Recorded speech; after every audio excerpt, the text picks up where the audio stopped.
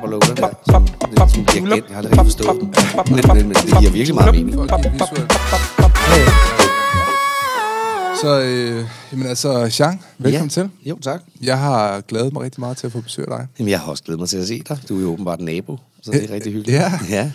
Og øh, jeg synes jo, det du render rundt og laver er ret fantastisk. Jeg har jo fulgt med i din rejse her igennem de sidste mange år, hvor du ligesom er gået fra DJ og promoter og hele her natlivsræs til at erkende, at der måske var nogle ting, du skulle arbejde lidt med. Det må man og sige. Hold da op, du har fået arbejdet med... Du har fået, du har fået vendt dit liv øh, ret... ret Eller i hvert fald vender det, tror jeg. Ja, I gang med at vende det, dreje det. man, man, man vinder altid lidt, gør man ikke? Hvad vil det sige? Altså, altså, man, altså man, man kan jo altid blive ved med at vende sit liv og dreje sit liv og forbedre, forbedre, forbedre, ikke? Jo, eller bare i hvert fald, jeg ved ikke, om det forbedrer egentlig, bare ændre. Altså, mm. den ting ændrer sig jo også, ligesom vores hud ændrer sig hver syvende år. Og, altså, vi ændrer os jo i virkeligheden som mennesker ud fra de perspektiver, vi indtager, og hvad vi, vores prioriteter er som mennesker i forhold til, hvordan vores hjerne specielt udvikler sig. Ja. Der er jo mange ting, der... For eksempel er vi jo først rigtig voksne, når vi er 25. Øh, ja. Der er vores frontallapper først vokset sammen, så det er jo rimelig absurd, så mange valg unge mennesker skal tage, før de er der. Øh, fordi de højst sandsynligt tager en masse forkerte, som de så ikke ved, hvordan de ændrer, når de bliver 25. Ja. Men, du, men du er gået fra at være, og det er det, jeg synes, der er super imponerende ved dig, ved dig. Du er ligesom gået fra at være den her promoter til at være psykoterapeut nu, foredragsholder også. Ja, psykoterapeut, øh, altså sådan med speciale i afhængighed, kan man sige. Men det sådan, kommer vi nok til at snakke lidt om, hvad jeg mener, det er. Og så foredragsholder, og så spiller jeg stadigvæk som, som DJ øh, rundt omkring, men ikke så meget på netklubber. Altså, fordi vi har jo ret meget til fælles, øh, kan man sige, i og med, at vi begge to har været ved at blive slugt af nattelivet, eller rent faktisk er blevet slugt af nattelivet, og lidt spyttet ud igen. Ja. Øh, kan du fortælle mig lidt om det? Altså at blive slugt af nattelivet. Ja, eller blive, blive, blive slugt og spyttet ud, eller det er i hvert fald sådan en fornemmelse, jeg har haft af det. Altså, øh, med, i hvert fald med min egen oplevelse med nattelivet. Jeg har også selv DJ'et i rigtig mange år. Ja, det ved jeg. Og- Jeg kan, jo, og- jeg kan og- huske dig jo fra dengang, jeg bookede dig. Du har jo nærmest oplært mig. Ja, ja. Men altså at blive spyttet ud af, eller opslugt af natteliv, jeg tror egentlig aldrig, jeg har været andet. Jeg vidste ikke, der var andet. Altså, jeg var, fra jeg var otte år gammel, der havde jeg jo ikke andet at tage mig til, end at se MTV og øh, hvad hedder det nu, øhm, øh, det var sådan ligesom min verden. Jeg, det skal jeg nok fortælle om, hvorfor det var min verden. Men, men, men min verden var egentlig bare at se på fest og glade dage på MTV. Det beroligede mig i en eller anden form at se alle de lykkelige mennesker. Min egen barndom var ikke sådan super glad på det tidspunkt, så jeg byggede Lego-borg om til netklubber, og så begyndte jeg at finde festerne for alle vennerne, der var 11, 12, 13 år. Og mm. siden da har jeg egentlig altid bare kun følt mig tryg i en eller anden mærkelig form øh, i, i fest-regi, øh, eller den, det univers musik, øh, radio, Kim Schumacher i 80'erne, øh, og så begyndte jeg også senere hen at både blive go-go-danser, DJ og eventmaker, øh, eller festarrangør. Øhm, og det brugte jeg jo i virkeligheden faktisk tæt på, jeg var jo stadig egentlig på en eller anden måde i gang, ikke? så jeg er på 25. år som en eller anden fest baron, og blev også kaldt for festkongen. Jeg tror, titlen egentlig kom med mig via Morten Vamme i sin tid. Øhm, så, så, så det var ligesom, det, jeg bare, det var mit liv, det var egentlig bare hele tiden at søge den næste fest, fordi jeg simpelthen ikke kan være sammen med mennesker, der ikke er glade. Så du, øh, hvad hedder det, øh, gik fra, øh, fra det her at være et miljø, som virkelig understøtter, hvad kan man sige, misbrug i høj grad, til at være misbrugskonsulent nærmest, altså psykoterapeut, du, du hjælper folk med misbrug nu. Altså, Ja, det, det- er dine altså, specialer, kan man sige. Det, de fleste kommer til mig for, som jeg, som jeg er kendt for, eller hvad man skal sige, det er at være misbrugsbehandler. Er det ikke en lidt crazy field study at bruge 25 år på det, eller? Jo, men altså, jeg har jo fundet ud af, jeg har jo gjort alle de forkerte ting, jeg beder mine klienter om ikke at gøre. Altså, jeg har jo været på afvinding omringet af alkohol. Jeg har været på afvinding omringet af falskhed og uægthed og usandhed. Og, så jeg har egentlig gjort det på den helt forkerte måde, men, men, men jeg har jo altid prøvet på at blive clean for at fortsætte i det miljø. Men man finder hurtigt ud af, at i hvert fald, og det der med at blive spyttet ud, ikke? at man har opbygget et netværk af 15.000 venner på Facebook, eller hvad man nu havde dengang, man måtte det, men som i virkeligheden måske bare var drinking buddies. Og det er, ret, øh, det er en ret stor kontrast, der skulle ud af. Og deraf spyttet ud. Der er mange, der føler sig spyttet ud. Eller jeg har selv haft meget store sådan, åh oh, nej, hvorfor var der ikke nogen, der i virkeligheden elskede mig? Og sådan noget, når jeg har haft brug for at skulle finde en vej til et tilbagefald, så begynder hjernen jo at fortælle en en masse sjove historier om alle de ting, man ikke er god til, og de folk, der ikke elsker en. Og det har jeg været meget igennem, følt, at jeg blev svigtet og såret af mit publikum, for det var jo i virkeligheden det, det var. Men for mig var det de eneste venner, jeg havde. Mm. Så på den måde var det en meget sårbar proces at komme ud af nattelivet. Ikke så meget på grund af stofferne var svære at komme ud af. Det de også. Alkoholen er ekstraordinært svær. Det er nok det sværeste i Danmark. Men det var mere den der afvinding fra venskaber, eller man, de venskaber, man troede, man havde, og man har sagt til sig selv i 20 år, wow, hvor er det fedt, og vi ses på tirsdag, og jeg elsker dig, og wow, og kram og kys, og for at kærlighedsløst menneske, som jeg var på et tidspunkt, der var det jo en ekstraordinær befrielse at møde folk, der elskede mig hele tiden for at være en anden. Man finder hurtigt ud af, hvor hurtigt man bliver glemt. Ja, ja, ja, det gør man jo nok ikke. Folk vender gerne tilbage, når de finder ud af, at de vil den samme vej som en. Ja. Men i den periode, hvor man ens fællesskab, for problemet er jo meget med nattelivet, hvis det er det, du prioriterer. Man skal jo lige huske, at der ikke er noget i vejen med at gå ud og feste og have det sjovt. Det er helt okay. Det er også okay, at folk en gang imellem tager nogle stoffer, eller drikker, eller ryger smøger, eller går for meget til badminton, eller boller for meget, eller spiller for meget, eller arbejder for meget. Øh, når jeg siger for meget, så vil jeg lige trække i land og sige, for meget var ikke rigtigt, men at folk har noget, de godt kan lide at gøre. Men det, er jo, det er jo rent faktisk interessant, du siger det her, fordi nu nævner du mere end bare stoffer. Så, øh, og det er Ja. også noget, jeg har læst lidt om, omkring dig. Altså, der er jo mange forskellige misbrug. Så, så hvad, hvad er et misbrug egentlig i, altså, i dine øjne? hvis vi skal misbrug eller en afhængighed er, øh, hvad hedder det, en hver handling, du begår, som du har ekstraordinært meget lyst til, men du har så meget lyst til, at du skader dig selv, du skader dem omkring dig, øh, og at du langsomt går til grunde, fordi den her ene, eller måske to ting, de øh, er så ufattelig vigtige for dig, og du får tilfredsstillet din lyst, at du glemmer alle de andre ting omkring dig. De kommer ligesom i vejen, din familie, dine børn, din sundhed, dit øh, mentale velvære kommer i vejen, fordi du har så meget lyst til et eller andet hele tiden, der giver dig en følelse af tryghed, som så måske man senere hen finder ud af, er en meget, meget falsk tryghed. Mm. Og så kommer rejsen så mod at finde ud af, hvordan bliver jeg så tryg, når nu for eksempel, at jeg er helt sikker på, at jeg kan få det godt af at drikke en halv flaske vodka, men hvis ikke jeg kan drikke den, hvad, hvad gør jeg så for at dulme mine følelser? Min teori er jo, at verden den i virkeligheden dulmer sig selv ihjel. Øh, det kan man jo se på, det, altså det kan man jo se på retorikken i dag i mediebilledet, som er båret af generelt frygt. Den anden uge var der en, da der lige var pause i Ukraine-angst, nu var der en stor pause i går, da Will Smith han slog en eller anden, så glemte alle folk, ikke bare om corona, men også om Ukraine for et moment. Det siger også lidt om, hvordan vi psykologisk er, men altså styret af det her drug, som vi alle sammen går rundt med i vores hånd, som hedder det sociale medie, som mm. er jo dybt usocialt, og man slet ikke er nær. Alt er næsten baseret på løgn. Og altså her snakker jeg ikke presseløgn og sådan noget. Her snakker jeg simpelthen, at de fleste mennesker lægger jo sjældent op, at de lige har fået fingeren igennem toiletpapiret eller et eller andet. Det hele er løgn. Og det vil sige, altså, og min teori for terapien og alt det der, øh, nu blabber jeg lidt, men det er i virkeligheden, at så længe vi lyver om os selv, så længe det handler om at vise verden, at det går godt, så har vi et genetik, genetik, altså et virkelig et stort problem, fordi hvis ikke vi kan lære at have det godt og dele det med mennesker, så er vi helt alene. Mm. Så hvad, hvad mener du, øh, hvad, hvad ser du som en årsag til, altså, altså det, det, der skaber et misbrug? Hvis, Nå ja. man, hvis man prøver at, at, at, at dykke ned i det, hvad, hvad skaber så et misbrug? Men et, et, altså et misbrug eller en afhængighed, den bliver jo skabt ud fra det, at du i virkeligheden måske ikke har lært en masse ting. Altså det her kommer vi jo tilbage til opvæksten. Der er rigtig mange måder at håndtere misbrug på, hvor man både kan bruge de forskellige terapiformer, der kigger fremad, men rigtig mange misbrugere eller afhængige, eller folk, der har problemer med substanser, øh, blandt andet, de, øh, de har jo ikke, de mangler et bredere billede, eller også har de glemt øh, det billede, på grund af, at de har i, over en overrække har brugt et stof til at ligesom dulme sig selv, eller ophøje sig selv. Altså i virkeligheden er misbrug jo et liv på doping. Øh, det er sådan, Berne Ries, det var heller ikke sandheden, da han kørte op på toppen af Alpes.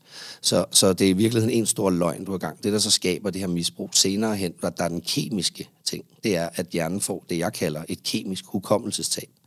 Det vil sige, du kan sagtens blive, du ved, du kan blive glad, hvis du tænker dig rigtig godt om. Hvis du for eksempel kan lide at fiske, eller hvis du kan lide at gå i skoven, eller du kan lide at spille basketball. Det har du engang gjort, før du tog stoffer, og før du drak. Forhåbentlig har du lavet et eller andet spil skak strikket. Det er sådan set ligegyldigt, hvad det var. Hvis det gav dig en form for velvære, der ikke skadede dig, og fik dig til at dulme dig selv, så var det godt. Så bliver man teenager, man har en masse oprør, fordi man måske derhjemme, ens far har været på arbejde det meste af tiden og kommet rigtig sent hjem man bor i det. Man har den perfekte opvækst, går man og fortæller sig selv, jeg skal elske min mor og far. Mor græder hver gang man siger, man har det svært. Far er der ikke lige til at håndtere problemerne, fordi han er træt og skal ligge på sofaen og have sin aften aftenkonjak.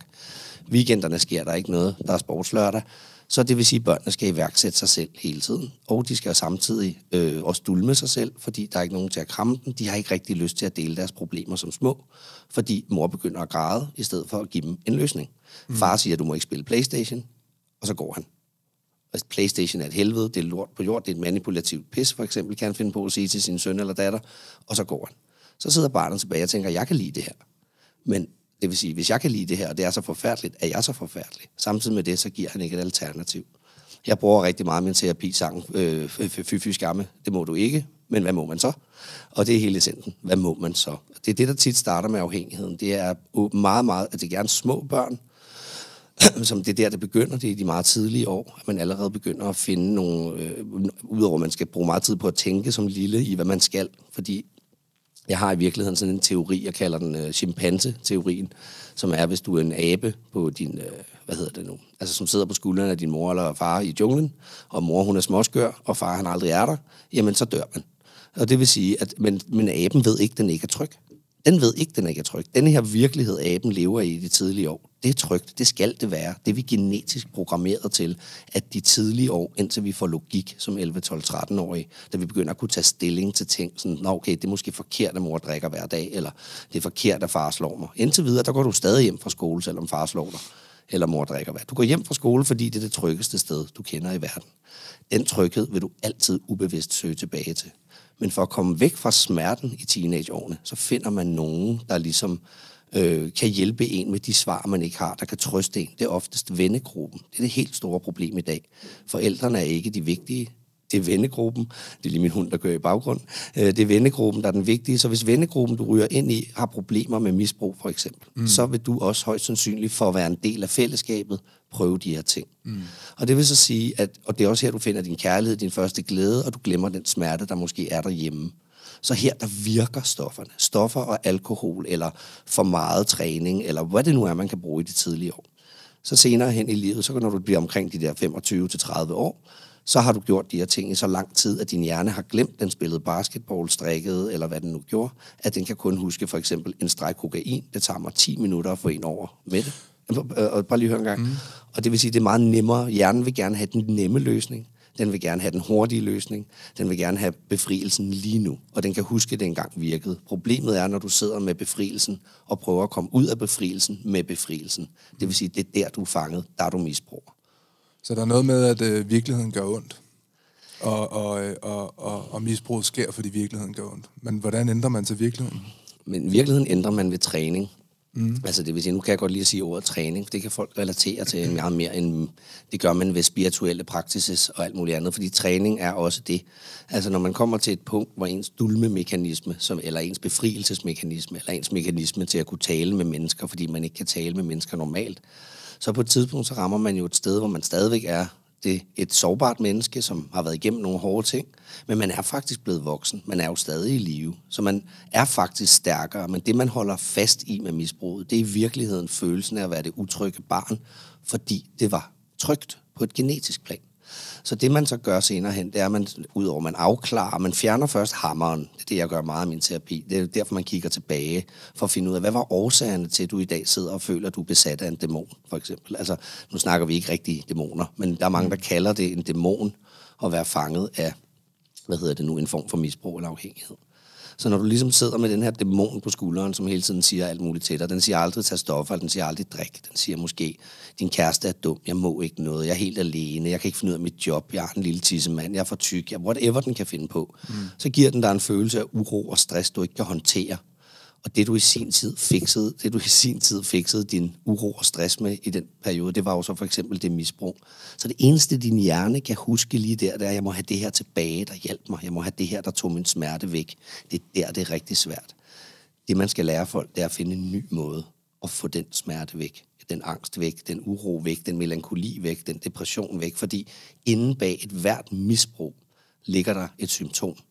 Og det symptom, det er oftest det, der ligger til grunde for, at man ikke, det har man ikke lært at håndtere. Det kan være angst. Det kan være, det er en meget stor ting i samfundet nu. Mange mennesker får angst, og jeg spår, der kommer en flodbølge, en tsunami af angst lige om lidt blandt de unge mennesker, der er vokset op med masker i to år. Det lyder som om, at der, øh, også det, jeg har sådan læst omkring misbrug nu, at der er sket sådan et ret stort skift i, hvordan vi opfatter misbrug.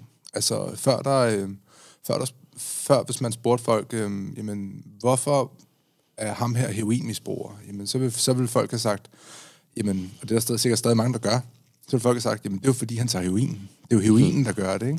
Jo. Øhm, hvorfor tager folk smertestillende? Jamen, måske man mere skulle kigge på, hvorfor folk er i smerte. Altså, Præcis. altså sådan, dyk, dyk derned. Er der noget om det? Det er, min, det, det, det, det, er, det er det princip, du siger der, som jeg det er meget glad for, du nævner. Fordi mm. det er i virkeligheden 100% det princip, jeg arbejder ud fra. Jeg siger endda til nogle af mine klienter, jeg snyder jer ind som misbrugsbehandler, fordi jeg vil så gerne fikse jeres rigtige problem. Er der noget med de her kemiske kroge, som jeg har læst lidt om? Det her med, at, at, at kemien hugger en, eller, eller skal vi dybere, eller er det en blanding? Eller det, hvordan? det, er det, jeg, det er det, jeg faktisk sagde før. Det Ja. kemiske hukommelsestab. Det er Ja. sådan, jeg mener, den hugger ind. Okay. Selvfølgelig er der nogle... Altså, kemi, den kemi, der er i forskellige handlinger, det kan også være sport, det udløser en masse dopamin. Det, du bliver afhængig af, og er oftest, eller næsten altid, den neurotransmitter, der hedder dopamin. Serotonin, som er den, man får med MDMA og ecstasy. Dopamin, det er for eksempel alkohol, kokain, cigaretter, nikotin osv. Sport, arbejde. Min chef synes jeg er god. Altså, chefen er vigtigere end mine børn, ikke? Det er der jo rigtig mange, der har det. Chefen bliver tit far. Der er mange firmaer, der siger, at vi er en familie. Det er den ikke. Lad være med at tro på det. Det er Ja. noget pis, Ja. for at få folk til at få endnu dårligere samvittighed ikke at arbejde over i weekenden. Mm. Jobbet er en vej til et liv, men de fleste mennesker har aldrig nogensinde sagt, hvad skal mit liv være? Så med hensyn til kemien, der er det et kemisk. Selvfølgelig er der nogle hooks, det er klart. Øh, hvis du får en... Øhm, Men, men altså, altså, stoffer, hugger de en kemisk? nej, ja og nej. Okay. Jeg kan, det her kan jeg svare. Men kan man blive afhængig af kokain? Ja og nej. Det kan man ikke. Det kan man, man kan ikke blive afhængig af kokain, hvis ikke du har en forudgående historie af traume. Hvis du, ellers så kan du godt tage en streg kokain, fordi det, du har lyst til bagefter, det er stadigvæk at fortsætte med at sejle din båd, fordi at din øh, far og dig har gjort det rigtig meget sammen som børn. Så dit minde af hver eneste søndag, den er så vigtig for dig, at du ikke har lyst til at sidde til en afterparty til klokken 7 om morgenen, for at tage hjem til din far, der ligger og drikker konjak på sofaen hele dagen og siger sport og ikke gider snakke med dig. Så hvis du har den minde, hvis du har en opvækst, hvis du har en tryg familieting, hvis du har et liv, så er det sjældent, man bliver hugt. Beviset ligger faktisk i soldater fra Vietnam. For soldater fra Vietnam, de kom jo hjem, og der har vi jo det her billede af, at de alle sammen var fuldstændig fucked up. Jeg mener, det var mellem 4, jeg tror, det var omkring 4 procent, der endte galt. De havde ikke nogen, der tog imod dem. De havde ikke nogen familie og venner. De kommer hjem, og de, dem, der kommer hjem til familie, venner, børn osv., der var meget få af dem, der blev virkelig afhængige af heroinen, de tog derude. Samme situation, bare for at give et andet. Så- Jeg bliver nødt til at give dig et eksempel, der er helt præcis. Det er, at hvis du har en øh, moster Ellen ligger på hospitalet og får morfin en måned med en brækket hofte, når hun kommer ud til sin familie og så videre, så går hun ud og hygger sig. Johnny fra Stenbroen med to familier, der drikker der for, for morfin en måned, han går ned, og så går han ned på Istegade for at få mere, fordi han ikke ved, hvad han skal stille op med den følelse, han har. Så hvad, hvad du sagde, altså soldater i Vietnamkrigen, Ja, der var ikke så mange, der blev afhængige af stoffet, som, som der var mange soldater, der tog heroin der, dengang. mm, at næsten alle tog noget ude i Vietnam. Forestil dig at ligge ude i junglen og se folk blive sprættet op i flere måneder. Så Det var, man, man kan sige, hvis præcedens er, øh, at hvis du tager heroin, så bliver det afhængigt sådan der. Så er det et modbevis, kan man sige. Fordi det... hvis næsten alle soldater tog heroin kommer hjem, og så er det kun 4%, der stadig er afhængige. Der er massevis, der tager heroin hele tiden. Det kan man jo bare se på den oxy, oxy, oxy, en, øh, altså, hvad skal man sige, epidemien i USA, ikke? Hvor, som har skabt den største heroinafhængighed. Så hvis du tager den længe nok, så er det klart, der er jo nogle kemiske hooks, der hele tiden minder hjernen om, at nu får jeg den her neurotransmitter, som giver mig velvære og glæde, uden jeg skal gøre en skid. Så gør du det længe nok, så er det klart. Så hvis du får nogle piller af din læge i to år, som har- heroin i sig, eller morfin, eller de her former for opiater, hvis du får dem i over to år, så er det klart, så vil din hjerne langsomt glemme og, og, altså, at slukke smerten med andre ting. Den vil, ikke engang, den vil endda måske skabe smerte for at få mere. På den måde er der en kemi. Men jeg siger bare, at afhængigheden kommer oftest fra en eller anden form for traume eller fravær. Så det, du siger også, det er, at man kan sige, at misbrug manifesterer sig ikke, hvis man har noget at leve for, eller føler, man har noget at leve for, i så høj grad. Nej, der er absolut ikke. Altså, der er, det, alt, alt misbrugs... øh, Jeg var derude for, jeg var ud på Panum for, for en, jeg var en del af et foredrag, så kom corona, men for en masse hjerneforskere, som jeg så snakkede med bagefter, og mange af dem har jo stadig den her rotte-teori, ikke, som vi alle sammen er vokset op med, som har været der siden uh, Nixon og Reagan-regeringen, da der var det ligesom krigen mod stoffer startede. Og krigen mod stoffer er 100% baseret på den her undersøgelse med en rotte, som sidder i et bur, og så har den to vandting, og i den ene vandting, der er der kokain eller heroin, og i den anden vandting er der vand. Og den her rotte går så hen og drikker af begge to, og så går den så hen til sidst, og så drikker den så meget af det der heroin og kokainvand, at den dør af det. Det er faktisk det, al forskning er baseret på inden for afhængighedskultur. Det er derfor, du også stiller mig spørgsmålet, fordi det virker nyt, at der skulle være et symptom bagved. Mm. Øh, kommunerne i dag kalder det nu dobbeltdiagnose, det vil sige, at du både har en psykisk sygdom og et narkoproblem. Og jeg siger, at der findes kun én ting, det er én diagnose. Der er noget psykisk sygdom, der gør, at du tager noget gift for at få det bedre. Det er jo sindssygt. Så, så på den måde vil jeg sige, at der er en anden undersøgelse, som er lavet af en, der hedder Bruce Dickinson, som er, hvad hedder det nu, en anden forsker, som har lavet det, der hedder Rat Park-eksperimentet. Og i Rat Park, der har han også en rotte. Der er også to vandflasker. I den ene er der kokain og heroin, i den anden er der vand. Men i den her park er der også legetøj. Der er hunder, den kan parre sig med. Der er børn, der er sjov, der er alt muligt andet. Den går hen og smager på det der vand, og så holder den op med det, fordi den laver alt muligt andet. Det er ret, den har ikke brug for at dø. Så essensen er... Så den vælger det rene vand? Den, den vælger det, det rene land, fordi den vil da hellere knalde og lege og løbe rundt og spise og spise alt dens yndlingsmad. Og, altså, den, det, er jo det, det, det, har den jo, det er jo det, den vil. Det er jo det, som er naturligt for en rotte. Det er jo at finde det fællesskab og parre sig. Og, men det er klart, hvis du sætter en rotte i et bur, øh, og sætter den der alene, og den eneste, den har at lave, det er altså stoffer, hvad vil du gøre? Ja. Hvad vil du gøre, hvis du skulle sidde alene i et bur resten af dit liv, og det eneste sjov, du kunne få, det var at gå over og drikke det der vand, hvor der var stoffer i? Jeg tænker sådan, øh, i, hvor ekst, altså nu snakker vi jo ekstremiteter, vi snakker kokain, vi snakker heroin, alt det her. Mm. Hvor, hvor langt ned kan man se et misbrug? Er vi helt nede i, altså som jeg blandt andet med vores sidste gæst her, øh, Ulrik øh, Jærbsted, der nævnte jeg blandt andet, at jeg, jeg har et lille problem med slik. Er det også et misbrug? Det kommer an på, om du ikke har problem med slik. Det forhindrer dig i at gøre nogle ting. Eller er der nogle ting, du er utilfreds ved dig selv? mig. Jamen, så skal du ikke spise slik. Men hvad skal du så? Så skal jeg finde på noget andet at lave. Og hvad er det? Det er at løbe en tur, eller få mig selv ud af det mode, hvor jeg hungrer efter slik. Gør du det? Nej. Okay. Så hvis du rigtig gerne vil lave det her om, hvad kan du, hvad er, det, er det måske for stort et skridt for dig at, at, altså, at tage den løbetur? Er der noget andet, du kunne gøre, som var nemmere, som måske var mere sjovt til at starte med? Kunne du starte med at gå? Ja, eksempelvis. Men kunne det er så starte, svært, når man... Kunne du starte med at gå og høre en podcast? Eksempelvis. Det, ja. kunne, være, det kunne være en god idé, ikke? Eller, eller helt fjerne det fra ens svære, men man kan sige, løser det problemet, det gør den måske ikke, at det fysisk ikke er til stede. Trangen kan jo stadig være der. Du vil højst sandsynligt, fordi der er jo rigtig meget dopamin i netop sukker, som vi snakker om før, er der meget dopamin i sukker. Sukker er faktisk mere vanedannende end heroin. Så, så, så altså det er det virkelig lige på listen. Det er ret skræmmende. Sukker er jo også en, en altså det er jo en verdensomspændende narkokultur. Jeg spiser det selv. Mm. Jeg får altid sådan en, når jeg stopper med at drikke, nu drikker jeg ikke alkohol mere. Det har jeg stoppet med for et halvt år siden, også på spillejobs. Mm. Jeg har altid drukket på spillejobs, og jeg har altid tænkt, det var okay nu, nu er jeg stoppet med alt andet men fandt egentlig ud af, at jeg brugte meget tid på at gå og glæde mig til det spillejob. Egentlig ikke så meget menneskerne eller musikken, men jeg, kan, jeg fandt lige ud af, at der kunne jeg altså lige få lov til at fyre den af. Så jeg finder jo egentlig ud af, at jeg nok er let weekendalkoholiker, mens jeg er misbrugsterapeut. Hvilket jo i virkeligheden er lidt... Men det tænkte jeg ikke over. Jeg nej, så det som nej. en nødvendighed for at spille og kunne drikke min 4-5 øl, og så nogle gange lige et par shots, og hvad der nu fuldt med. Ja. Og det fandt jeg jo så også ud af, at det tog jo mig væk fra det nu, som vi alle sammen i virkeligheden søger at kunne være i for et kort moment, men ikke aner hvad er. Du har lavet sådan check yourself altså kan man sige, altså hvor du ligesom får kigget på det selv og sige, okay, øh, jamen måske jeg har noget, jeg også selv kan arbejde med her. Eller er det ikke også vigtigt generelt at have den indstilling som person, hvis man gerne vil ændre noget i sit liv? Og hvordan, og hvordan får man det perspektiv? Fordi at når jeg ser tilbage på min tid som, øh, som værende en del af det her natteliv her, så var jeg så dybt ind i det, at jeg kunne ikke se mig selv udefra. Et eksempel, jeg sådan bruger ret tit, øh, det er, at sådan, det, det er virkelig svært at, at hvad hedder det, læse labelet, når du er på indersiden af glasset. Ja. Øhm, Hvordan, hvordan stiller man sig selv i en position, eller får sig selv, eller lærer sig selv at være nysgerrig nok til at kunne se sig selv udefra, og kunne, kunne visualisere situationen? Hvordan bryder man det her mønster i, at man konstant ligesom ikke kan check yourself? Jamen, du vil, du vil opdage det. Altså, det, du, du behøver ikke engang at bryde. Altså, du, hvordan man bryder det, det kommer selvfølgelig først, når du opdager det og anerkender. Det er jo også første trin i AA, for eksempel. Første trin er at anerkende, at man har et problem. Der er et eller andet, man ikke kan finde ud af, og det her, det kan jeg ikke løse selv.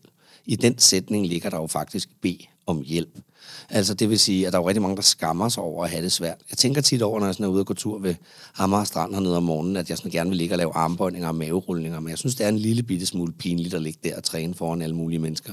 Men jeg kan sagtens sidde og drikke en fadøl i to timer og hælde biologisk opløsningsmiddel ned, mens jeg tjekker min øh, kinesisk fabrikerede børnearbejdetelefon og siger, at jeg vil redde klimaet.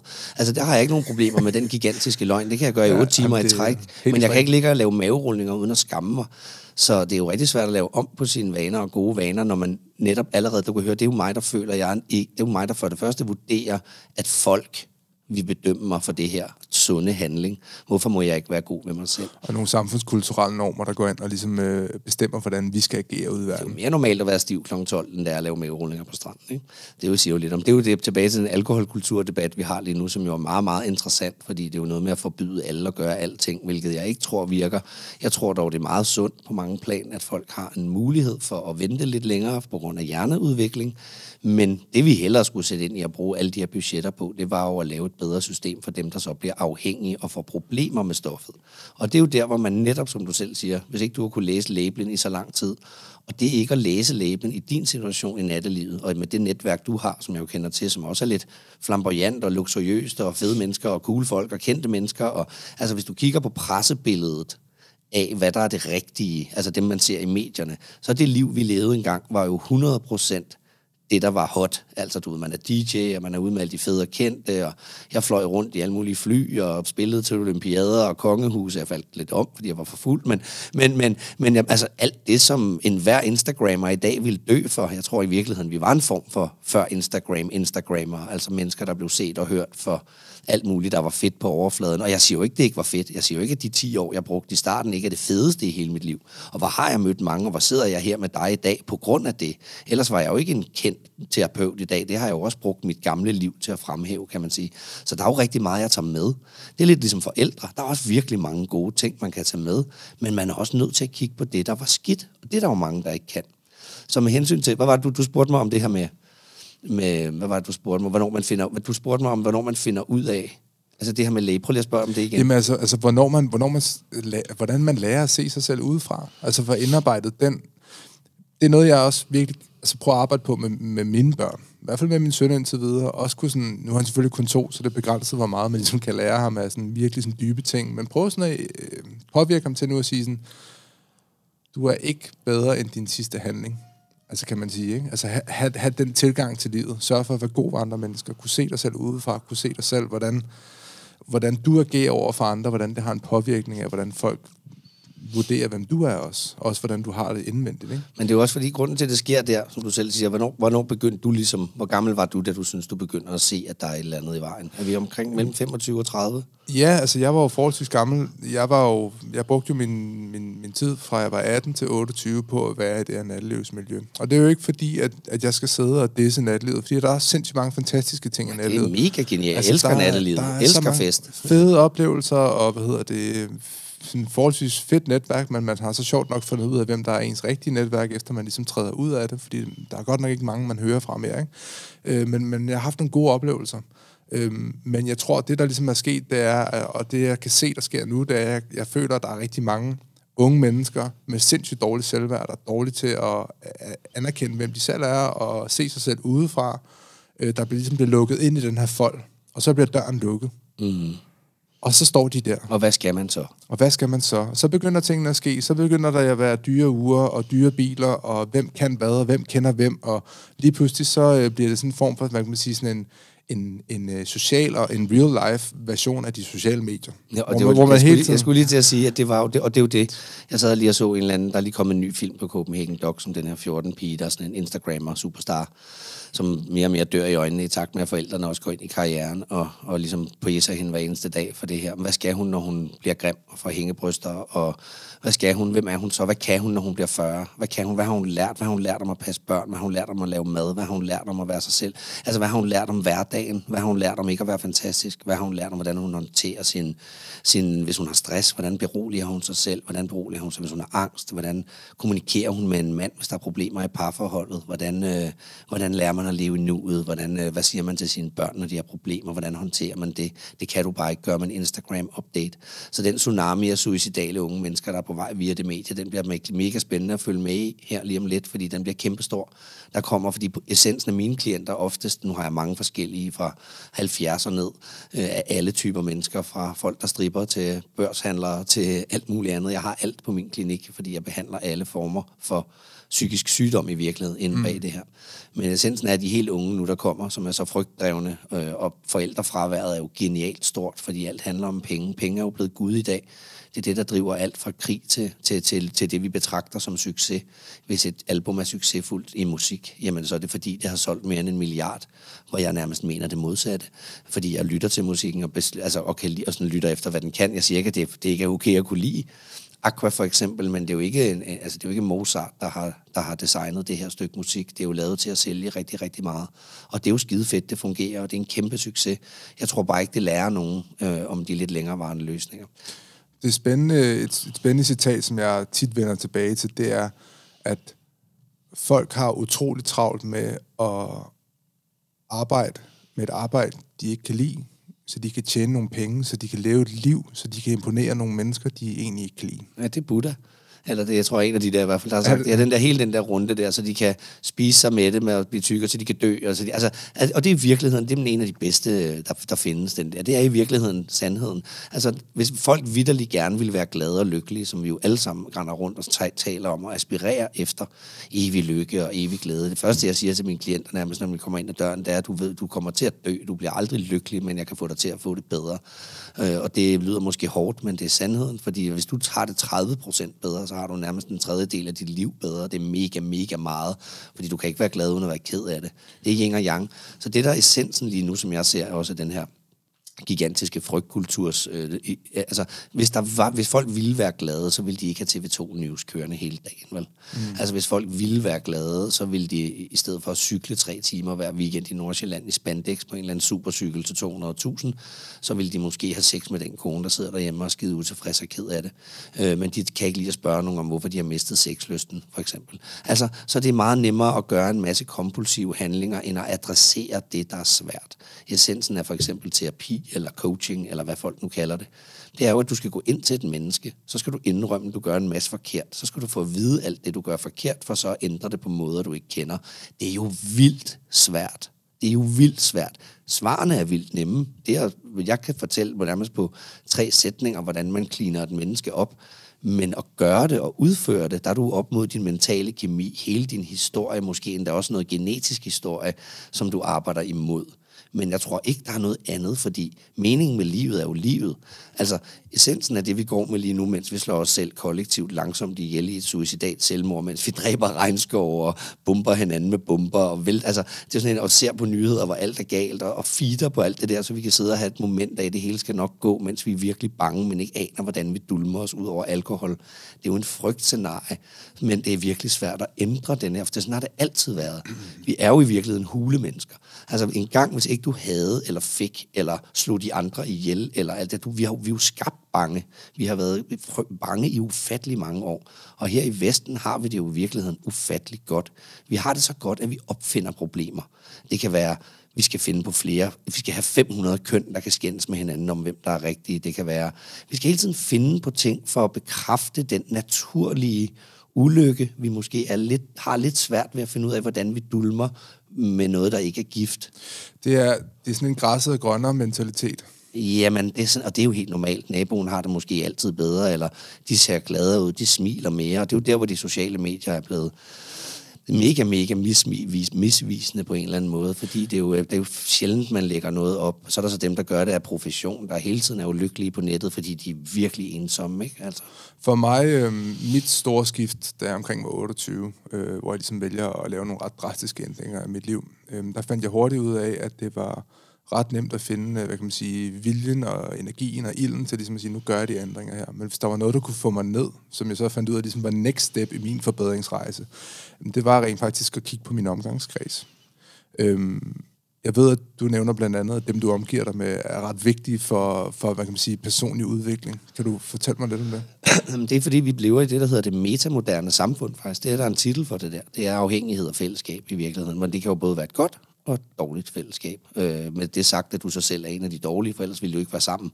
Grunden til, at folk snakker godt, når de har en øl, det er fordi, de har en øl.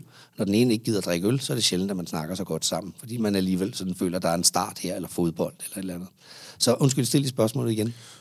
Omgangskreds. Ja, det er metamoderne. Altså det, der er i dag, det er jo på grund af det manglende forældre aktivitetsniveau og alle de ting, man har der, så connecter man med omgangskredsen.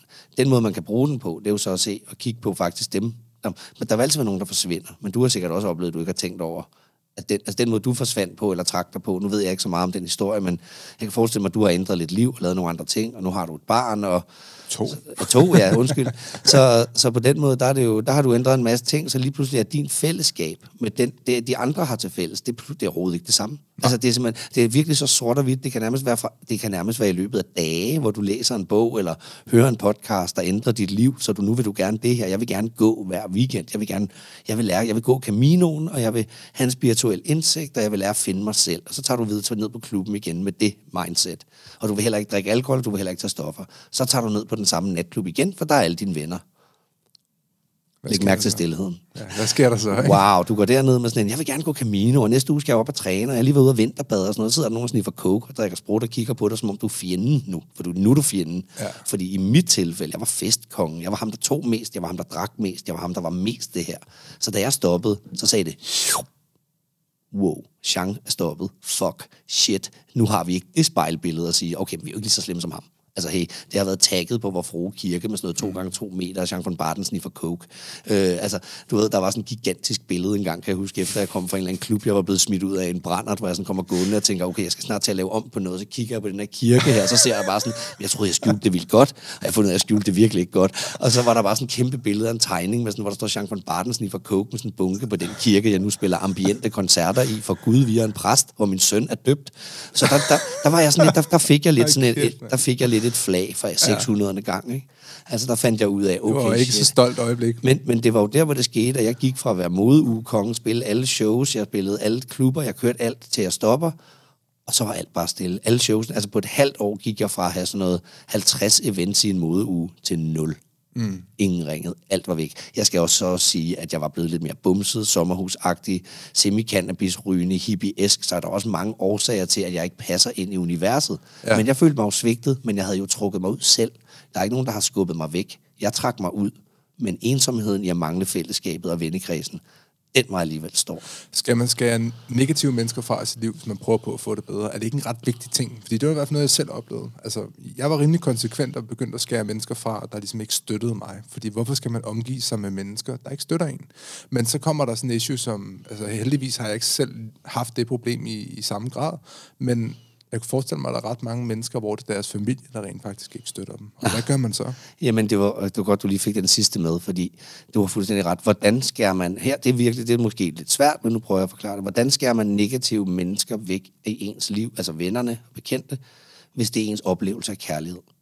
Det er sjovt, fordi jeg tænkte over det på vejen hen, hvor jeg sådan gik og gennemgik nogle af mine venner, jeg synes, der er enormt stressende, men som jeg virkelig elsker. Jeg elsker dem, men jeg ved nærmest ikke, hvor de bor, og når jeg snakker med dem eller er sammen med dem, så får jeg altid lidt angst og uro. Og, altså, men jeg, kan, jeg er stadigvæk sådan nødt til at snakke med dem. Jeg er stadig nødt til at være der engang. Jeg, kan jeg gik faktisk og tænkte over det på vejen hen. Mm.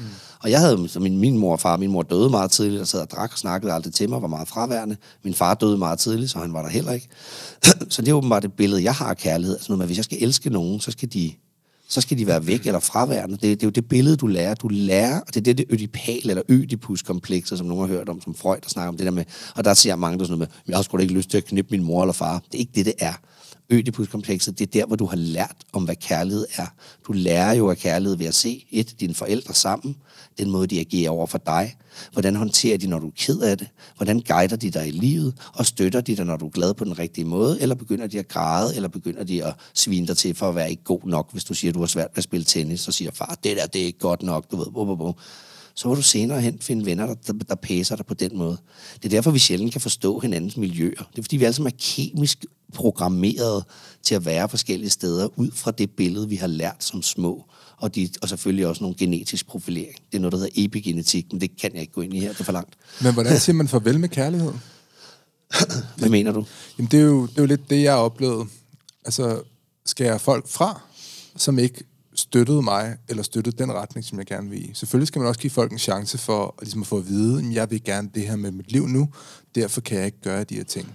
Og hvis folk gerne vil blive ved med at holde en i det negative, eller ikke støtter det, man gerne vil, er negativ omkring det, hvordan siger man så farvel? Og hvordan gør man det, hvis det er familie? Altså man står i den situation, at, at man rent faktisk finder ud af, fuck, min mor, hun er bare ikke god for mig. Ja, det er jo, og det er virkelig et tungt spørgsmål, du stiller der, fordi det er jo i virkeligheden næsten er slutningen, eller i hvert fald semi-midten af min terapeutiske proces. Det er jo også et opgør med det, efter du har... Først så skal man ligesom... Først så kigger man jo på det ego, eller hvad man nu har, der kommer ind ad døren. Ikke? Altså, du kommer ind og har nogle problemer. Du har, en, du har nogle håndteringsmekanismer, som du mener er de helt rigtige. Du kan ikke forstå, at det ikke fungerer. Nu gør du det alt det rigtige. Det kan også være, at du træner, og du spiser grønt, og du gør alle de ting, jeg også vil anbefale dig at gøre. Men det bare fungerer bare ikke. Du, ved, du kan ikke finde ud af det. Din kæreste råber fandme af dig hver dag, og lige meget hvor godt du gør det, så råber hun af dig hver dag. Så er sådan, okay, hvordan sætter du grænser for hende?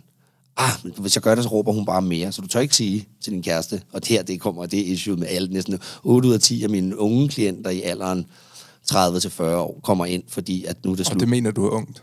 Ja, det er, Tak- tak for jamen, det. jeg har også 18 af dem, men det er en anden kategori. Nu mener jeg sådan unge...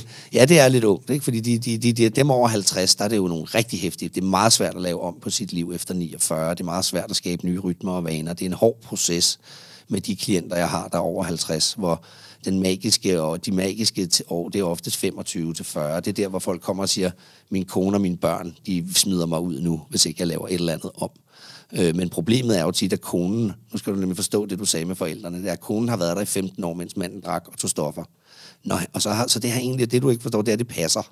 det, de har mødt en anden, anden årsag. Mm. Øh, hun har højst sandsynligt haft en far, der slog ham, eller slog hende, eller drak, eller andet, så det er hende, du kender til det her, ellers har hun ikke blevet i 15 år i helvede. Mm. Så, og han, men lige så snart han så bliver clean, det gør han ret hurtigt op hos mig, så bliver han clean. Så kommer han hjem, så pludselig så synes han ikke, det er fedt, hun sidder på Instagram hele dagen. Han synes ikke, det er fedt, hun ikke tager opvasken. Han synes ikke, for lige pludselig begynder han at få behov og, og lyst og sådan. Vågne op. Og han har heller ikke skyldfølelse, han har ikke angst, han vågner op, han vil gerne ud og løbe, hun gider sgu ikke løbe, hun har jo aldrig løbet. Så hvad gør, hvad sker der så? Jamen hun kommer til at skabe et scenarie, der får han selvværd så langt ned, han falder i vandet ubevidst. Så det, på den måde har jeg meget parterapi, fordi når jeg først får klienten, den ene klient clean, så er jeg nødt til at få kæresten med ofte for at lære hende at være selvstændig. Fordi hun kan ikke regne med sin mand mere. Mm. Det er kontrolmønster. Når vi tror, at stoffer og alkohol er sådan noget rebel, og jeg er fri, og jeg, jeg er uforudsigelig. Nej, nej. De allermest forudsigelige er folk, der drikker og tager stoffer. De ved præcis, det er grunden til, at de gør det. Det er kontrol. Det er ikke frit. Det er ikke for at tage væk. Det er kontrol over følelser. Det er kontrol over, ja, hvis jeg skal på scenen på lørdag, og jeg skal spille for tusind mennesker. Så før i tiden, hvis jeg havde en lorte lørdag, og var mega ked af det, så kunne jeg drikke fem øl og tage en streg coke, så skulle jeg nok spille det gik med et ordentligt smil på kæften. I dag, hvis jeg har en dårlig dag og alt muligt andet, så er jeg nødt til et, nu kan jeg jo bare gå på scenen og gøre det, det kan føles som helvede, men det jeg så gør nu for eksempel, da jeg kører nogle vejrtrækningsteknikker, helt vildt hæftige, sådan nogle Wim Hof vejrtrækningsteknikker, Han er mega nice Wim Hof. Jamen det er mere, til nogle er det godt, nogle med angst har svært ved det, fordi den der vejrtrækning højt op i lungerne føles lidt som angst, så kan man have nogle andre meditationsformer, for jeg bruger sådan alt, hvis den, altså den måde jeg gør det på, det at se mennesket i hvert fald. Men jeg, undskyld, jeg vil lige vende tilbage til de spørgsmål, for det var det der med forældre. Altså det der med, hvordan skærer man ikke bare venner væk, men forældre væk. Altså ikke at skære dem væk, men man ændrer. Et er, hvis ikke du ændrer noget, hvis ikke du skærer noget væk, der er negativt for dig i dit forældreregi, eller lærer at sætte grænser. Lad os sige, hende der, vi ser altid hende der moren på, det hende har næsten alle set på Facebook. Der er sådan en mor, der ringer til sin datter, hvad hedder hun, hende der Birgitte Neumann. Øh, hun ringer sådan gerne til sin datter og stiv, og sidder og siger, hvorfor ringer du aldrig til mig, skat? Og, ja. jeg sidder her, jeg er helt alene, og så videre, og så videre. Det er sådan en ret typisk mor. Jeg har rigtig mange klienter, der snakker med deres mødre eller negative fædre hver dag. Og de kan ikke forstå, at de ikke har noget at sige, når de kommer hjem til deres koner. De er vildt irriterede på deres kærester. De vil egentlig bare ud i weekenden og være frie. Men de snakker med mor og far hver dag, der ringer og brokker sig og bruger dem som deres terapeuter. Hvor jeg bliver nødt til at sige, "Men hvorfor har de kun dig? Hvorfor har de ikke nogen venner? Hvorfor har de ikke noget fællesskab? Du bliver nødt til at kigge på, at der er noget galt med deres liv. Men vi ser jo far og mor som guder. En gang var det dem, mm. der tændte lyskontakten, og så kom der lys, så de er Gud. Hvordan, man skal jo elske sin mor og far, siger folk. Siger, "Mm, ja og nej. Mm. Du skal elske dem for det, der er godt, og alle de gode ting, de har gjort. Altså, jeg er jo ikke, jeg, det er jo ikke mig, der træffer valget om at blive født. Altså, altså Præcis, det, altså, det er det der med, når du står på, gade, når du står på gaden på et eller andet billede, at dit barn er en gave, go fuck yourself. Det har barnet overhovedet ikke valgt. Nej. Altså, vi, har, vi er en gave til et nyt liv. Et liv, der i kosmos er 1 til 4 trillioner chance for at eksistere på denne her jord. Men hvis du ikke kan være taknemmelig for noget, så skal du tænke på, hvis du tror på Big Bang, hvis du tror på Gud har skabt jorden på seks dage, skal du ikke kontakte mig. Men hvis du tror på Big Bang, og du er kommet hertil med alt det, der er sket fra den gang til nu, med mærkelige møber og dinosaurer og bomber og Star Wars, skulle jeg til at sige, men altså krige og alt muligt, amøber, der kravler op, og sådan, vi sidder her i dag og har en dialog om et eller andet, som de eneste vidende eksisterende mennesker i hele kosmos så har du alligevel noget at være glad for. Du vinder lidt i lotto hver morgen, ikke? Så hvis, ikke du, hvis du starter hver dag med at sige det, så får du det hurtigt bedre. Jeg tror også, øh, det, det er noget, jeg tænker meget om, over i øjeblikket i forhold til mine, mine unger, øh, hvis jeg bliver irriteret på dem, fordi det gør man jo som forældre. Du bliver sgu irriteret Må jeg lige hurtigt stoppe dig et øjeblik? Ja. Det er fordi, jeg skal lige forklare, hvordan man får de der forældre væk. Eller hvordan man får venner, ikke væk, men ja. ændret. Okay. Et af dynamikændring, det er, at man, sætter, man starter med at sige, hey, jeg elsker dig, mor, men jeg, skal, jeg, jeg har lige nogle ting, den, jeg kan, jeg kan, ved du hvad, vi kan kun snakke sammen om lørdagen mellem det og det. Mm. Du sætter nogle grænser. Hvis mor så ringer, som er den her negative faktor, så bliver hun jo sur og sindssyg og alt muligt andet. Så bliver hun konfronteret med sig selv, men det er også hendes liv. Du er en voksen mand, det er ikke så vigtigt. Så når hun ringer om lørdagen, hvis hun så, så vil hun højst sandsynligt allerede der være lidt... Hun har været sur hele ugen over alt det her. Men husk, det er jo ikke dig, der bliver gammel først. Det er ikke dig, der skal have tømt dit bedpane på hospitalet. Det er ikke dig, det er de gamle forældre, de går lige pludselig op for dem, efter de har svigtet deres børn i mange, mange år. Måske. Fuck. Shit, hvem skal passe på mig? Så hvis du begynder at lægge dem lidt, give dem en, et, i hvert fald ændre strukturen, invitere dem til initiativ, lad være med hele tiden at være på deres initiativ. Lad være med at skulle til den her hver lørdags ting, eller hver søndags ting. Vent den om og sige, hey mor eller far, kom over til mig onsdag mellem 15 og 17, der har jeg lavet det her. Hvis ikke de ved det, hvorfor elsker de dig så? Altså elsker de det så nok, hvis det skal være på deres præmisser hele tiden. Du er blevet en voksen mand. Hvis ikke de ved det i længe tid, så ignorer dem, så siger inviter, når de så ringer igen. Hvorfor vil du ikke se os? Jeg har jo inviteret jer sammen med folk, der er bange for jul. Jeg skal både til far, og min mor og far er blevet skilt. Jeg skal også til mor. Jeg skal også til min bror. Jeg skal også til alt muligt. Jeg kan ikke overskue det. Jeg overgår ikke alt det. De skal alle sammen høre, hvor fedt mit liv er. Jeg er virkelig nu lykkelig, men jeg kan ikke lide at sige det. Nu inviterer du dem alle sammen på gløk og æbleskiver tre dage før jul, og så tager du på ferie. Du ved, så har du sagt hej til hele familien, du har taget, og det samme med venner. Det jeg gjorde, det var at invitere rigtig mange af mine gamle venner, jeg ikke var i tvivl om, hvem var, på brunch hver lørdag eller søndag kl. 12. Mm. Fordi lige pludselig kan man jo se, hvem der ikke kan komme, fordi de har været at drikke, tage drugs, og prioriteret det højere, end at dukke op til mig. Så jeg havde min sti ren. Det handler rigtig meget om initiativ. Mm. Jeg inviterer jer, jeg gør noget for jer. Og så til sidst, så de tre, der dukker op, du kan fortælle sandheden til om, hvordan du har det, og som ikke shamer dig. Det er dine venner, det er din familie. Der er vel også en grunderkendelse af, lyder det som om, at man ikke er ansvarlig for, om andre har det godt. Det skal jeg forstå. Jamen altså det her med, at man kan sige, selvfølgelig øh, kan man være et røvhul ja. over for nogen og sige, du er bare dum, og du er nederen, og dig kan jeg ikke lide, eller være rigtig ubehagelig, og så vil andre blive ked af det. Men hvis man snakker sådan nogle grundelementer i ens liv, så er det sådan begyndt at gå lidt op for mig at sige sådan, jamen, øh, er min, min mor ked af det over et eller andet i hendes liv. Jeg er jo ikke ansvarlig for at, at få hende til at få det bedre. Jeg kan hjælpe hende, men det er ikke mit ansvar, at hun er, hvad kan man sige, grundlykkelig.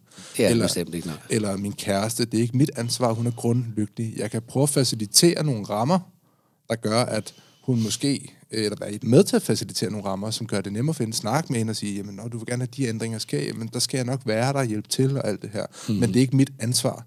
Og jeg har lagt mærke til, at lige så snart jeg føler, at jeg smider det ansvar fra mig, så bliver jeg også selv gladere, fordi så føler jeg også, at jeg har kontrol og rent faktisk også overskud til mig selv. Og jeg tror, det er lidt det, er lidt det der er nogen, nogen, der glemmer, ret mange glemmer ret tit, det her med, at jamen, for det første så oplever jeg sådan en tendens til, at der er rigtig mange, der forventer alt muligt af mennesker. Der er ja. rigtig mange, der forventer alt muligt. Nå, men nu har jeg gjort det her, så derfor skal jeg have det her tilbage. Eller nu får jeg børn, derfor skal folk... Det var sådan en ting, jeg selv havde. Da jeg fik børn, mit første, min, min søn, vores første barn, der tænker jeg, fedt, nu bliver han født, nu kommer folk bare til at komme rendende fra øst og vest med myrer og, og hvad hedder det, olie ja, ja, ja, og alt det her. Ja, ikke? der bliver tværtimod vildt stille. Ja, der bliver vildt stille. Ja. Fordi at folk har deres egen fucking problemer. Altså, og det tror, jeg, det tror jeg, der er rigtig mange, der glemmer, og det gik sgu op for mig. Folk har deres egne problemer. Jeg har mine problemer, mm-hmm. folk har deres egne problemer. Hvorfor fanden skulle de tage sig af dine problemer? Hvorfor fanden skulle folk... Selvfølgelig ens familie bliver glad for, at der kommer en, en, en unge, ikke? og det, det var den første familie, så var den, det var en stor ting og sådan noget. Ja. Men der var meget mere stille, end jeg havde regnet med. Ja. Der var mange øh, mindre invitationer, end jeg havde regnet med. Men det er også okay. Fordi de fleste jeg, har jo meget svært ved det. Altså, jeg kan jo, jeg har jo set det på nogle af mine... Og det er folk, jeg stadig ser rigtig gode venner med, men jeg kan da godt mærke nogle gange akavethed, for, både for mig selv, fordi jeg er sådan en pleaser-type, der har underholdt folk altid, når jeg havde gæster, eller jeg så nogen, så var jeg sådan ligesom på og sørgede for, at det hele det kørte, og mm. bum, bum, bum. Så når der kommer nogen nu, så står, eller da jeg, han var helt lille, min søn er 3,5 nu, og da han var 3,5, jamen så lige pludselig var der venner, men jeg var jo hele tiden nødt til at være på ham, så væltede han, eller så havde han, mm. han fik lidt astma, så skulle jeg være på det, og han skulle have en maske, og, så man kunne ikke sidde i de der lange, dybe samtaler over en flaske rødvin eller et eller andet, og bare køre derud af et eller andet, du ved, jeg blev hele tiden afbrudt, og jeg lå også mærke til mange af de venner der, ikke fordi de ikke ville det, men det er sådan, de kigger nærmest på den der baby, som om det er en alien. Altså, jeg kan da huske, inden jeg fik mit eget barn, havde jeg da nærmest aldrig holdt et barn. Altså, jeg kunne da slet ikke, jeg så da ikke barnevogn over det hele. Jeg tænkte ikke over, hvilke pladser der var i metrotoget og sådan noget. Jeg var da bare sådan en ung fyr, der væltede rundt og havde der en plan om ung og ung. Jeg var faktisk 40, øh, 42, da jeg fik et barn. Så, men, men i mit hoved var jeg meget, meget ung ikke, i den forstand. Mm. Så det, der åbner jo, det er en helt ny galakse af forståelse og mening og så videre. Det giver jo enormt meget mening. Det ved du, når jeg siger det til dig. Når jeg siger det til nogen, der ikke har børn, så forstår de slet ikke, hvad det er. Og det er også okay ja. ikke at ville det. Altså folk må selv vælge, at vi skal have børn, er jo ikke, er jo ikke så godt for klimaet.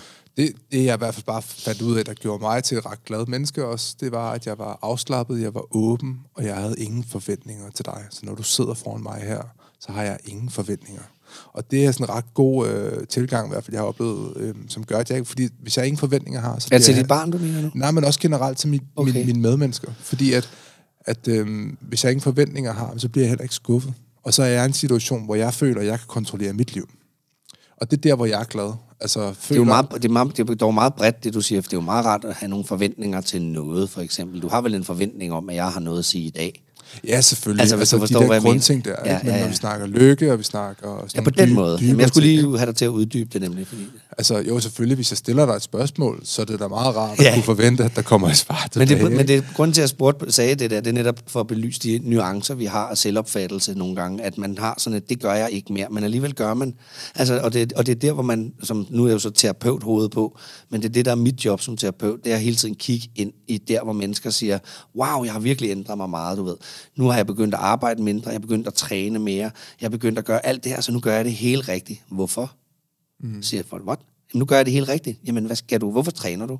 Hvad skal du være stærk til? Hvad skal du løfte? Skal du løfte et barn? Skal du løfte din kone? Skal du, altså, hvad er årsagen? Fordi det er jo det, som vi talte om med arbejde og arbejdsafhængighed. Det er jo, at de færreste mennesker ved jo i virkeligheden, hvad de vil have. De færreste mennesker har ikke skrevet ned, hvad de egentlig vil have. De har ikke tænkt over, hvad de egentlig vil have, hvem de egentlig gerne vil være, hvilken form for fysik de gerne vil have, og det, ved, det, det er en meget sådan simpelt spørgsmål også i det, jeg arbejder med. Det er sådan på et eller andet tidspunkt, så spørger jeg dem, hvad ønsker du dig i hjertet?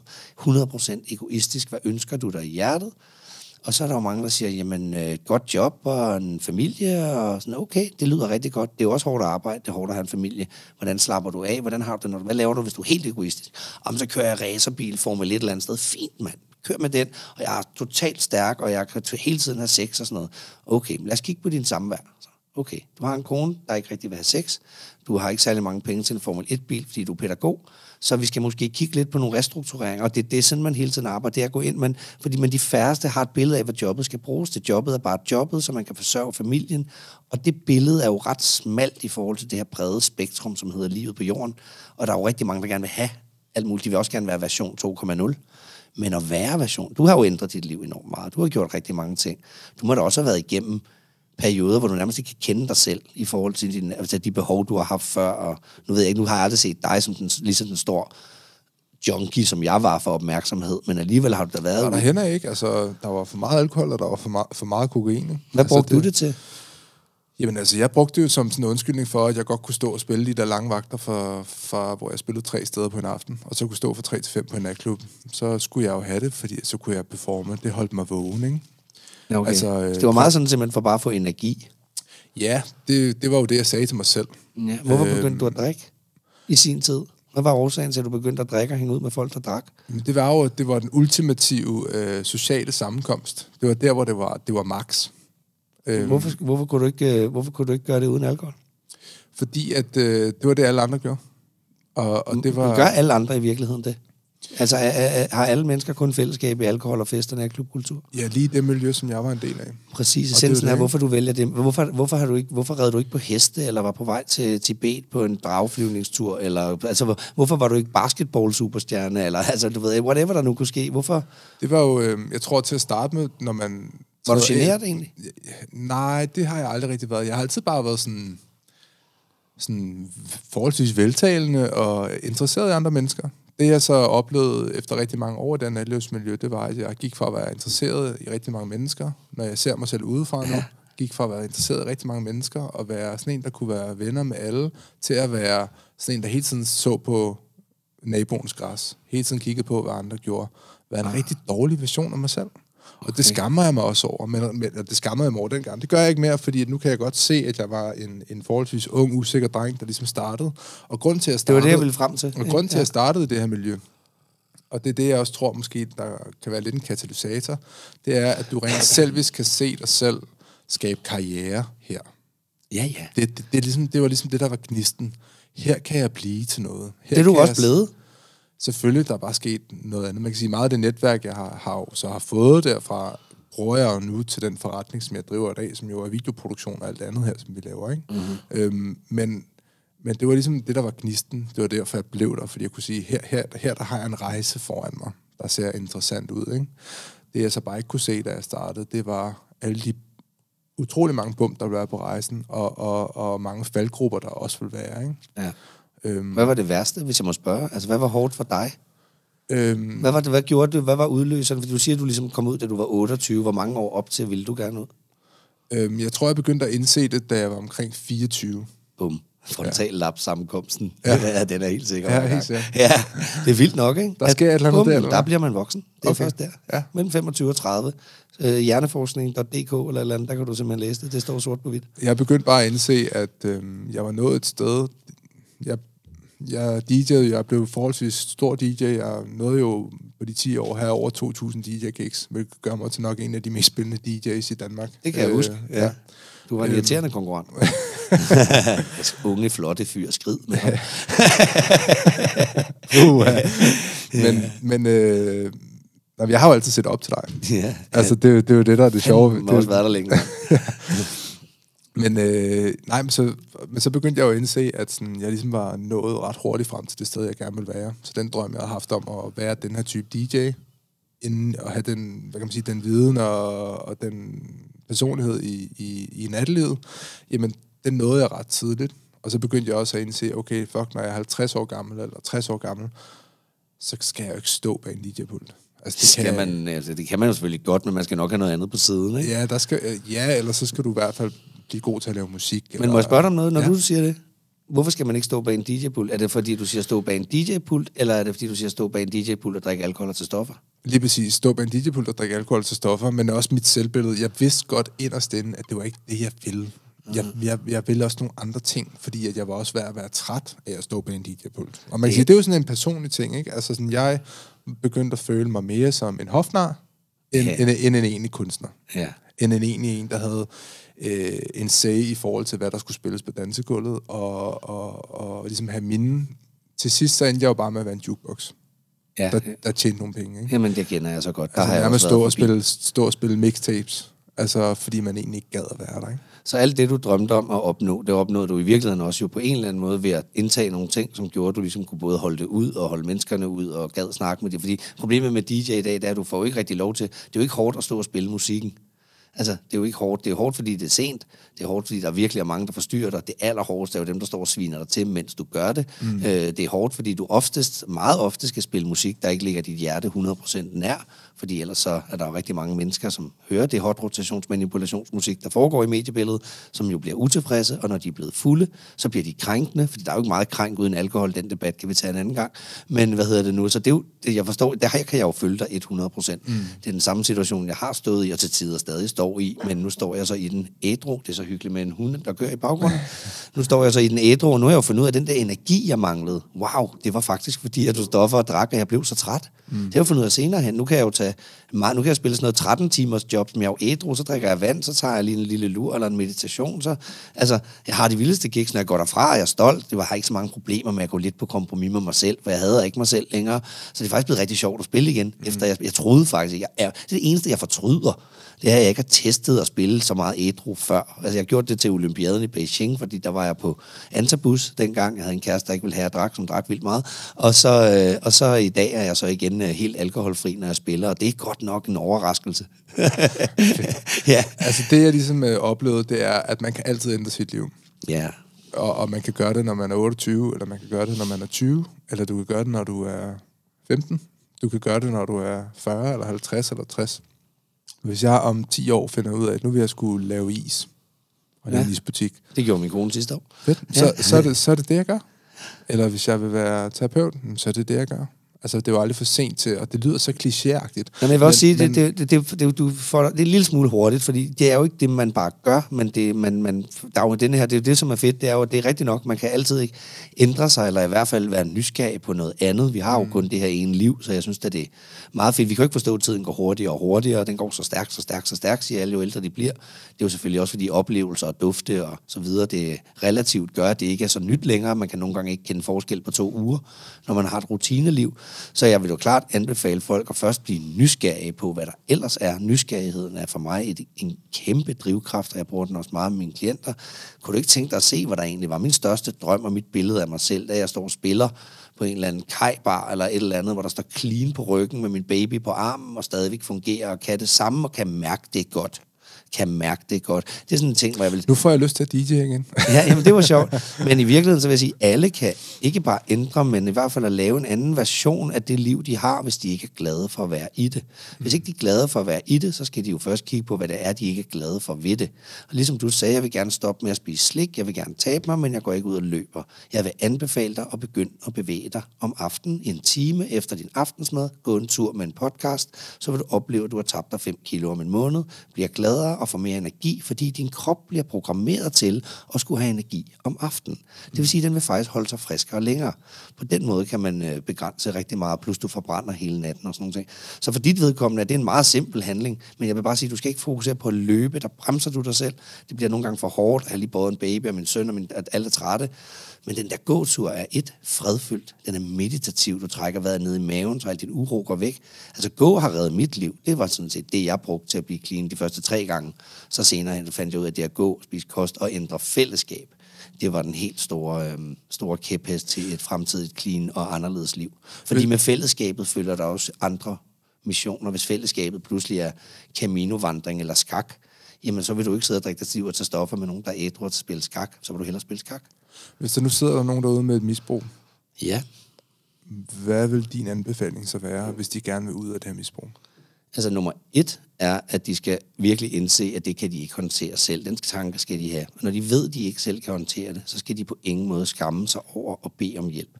Og hvis de så tænker, at jeg kan ikke bede nogen om hjælp, det vil være pinligt. Flora, det var lige min hund. Hvis de, Hun siger ligger, til, hun ligger her hos mig. hvis de siger til sig selv, at det vil være pinligt at bede om hjælp, det er jo altså altid, der er en eller anden vis pinlighed over at lave armbøjninger nede på stranden, eller maverullinger. Det er pinligt at forbedre sig selv på en eller anden måde. Det, det får andre til at føle sig skidt tilpas, og på den måde melder du dig jo lidt ud af fællesskabet. Men det eneste, der er pinligt, det eneste, der er skamfuldt, det er jo ikke at bede om hjælp. Og beder du ikke om hjælp, så vil du altid sidde i den her situation. Problemet med folk, der tager stoffer og drikker eller overarbejder, er, at de har lært fra barns ben i sin tid, at de skal styre og kontrollere alt selv. Og det har virket for dem. Det gjorde det i teenageårene, da de gik ud med alle de fede, de kendte, eller hvad de nu gjorde. Der virkede det, så hjernen lærte, at de her handlinger virker. Så vokser frontallapperne sammen, så skal de til at ud af det igen. Det eneste, der virkede, var det. Der starter misbruget. Og når det så kommer der, så må du så sige, jamen nu kan jeg ikke mere.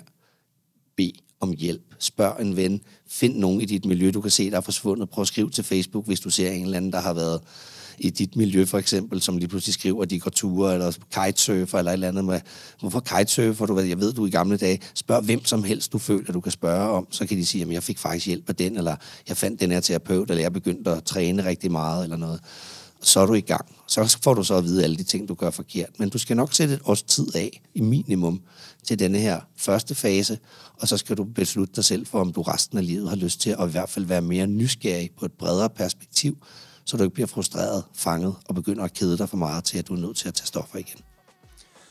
Jean, tak fordi du gad at øh, være med. Det var, mega, det var mega fedt at snakke med dig. I lige måde. Yes. Jeg håber, det var okay. Det var sindssygt godt. Altså, jeg, jeg, jeg er ret sikker på, at folk, der sidder derude og... Det blev måske lidt kryptisk nogle gange, men... Uh... Nej, nej, men altså...